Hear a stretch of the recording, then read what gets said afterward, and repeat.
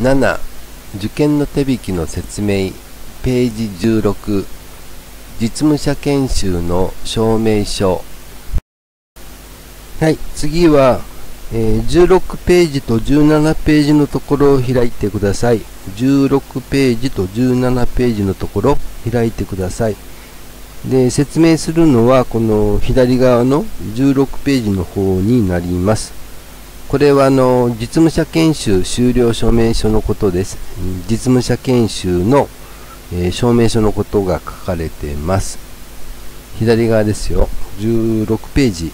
これ、綺麗な方に変えますね。これですね。16ページ。拡大しますよ。よいしょ。はい。ごめんね。えっと、ここは、ひらがなでも書いてますけど、実務者研修終了証明書または実務者研修終了見込み証明書、ね、今の段階で実務者研修全部終わってサティフィケートもらってる人は、えー、終了証明書。まだ今受けてる人はねえー、実務者研修終了見込み証明書をスクールから学校からもらって、えー、そのオリジナルを貼り付けます。原本を、えー、貼り付けるには原本を出します。ね。貼るところはない。出すんです。一緒にね。はい。でこの左側の方はもう終わってる人ですね、え、A の方は終わってる人。右の B がまだ終わってない人ね。で、A の人、もう終わってる人は、この実務者研修終了証明書は、受講者が保管するものではなく、試験センターへ提出するためのものですと。で、コピーは不可、原本を提出してくださいとありますね。で、終わってない人はこの右側の B です。えー、実務者研修終了見込み証明書。赤く書いてます。これ1年前だからね。これ平成30年に変わりますけど平成30年12月31日までに研修を終了する予定の方が対象ですと。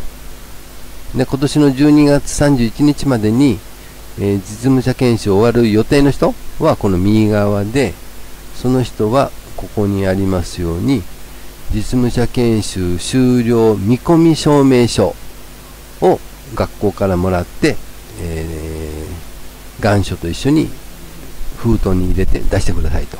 ね、コピーは不可。原本をオリジナルを提出してくださいと。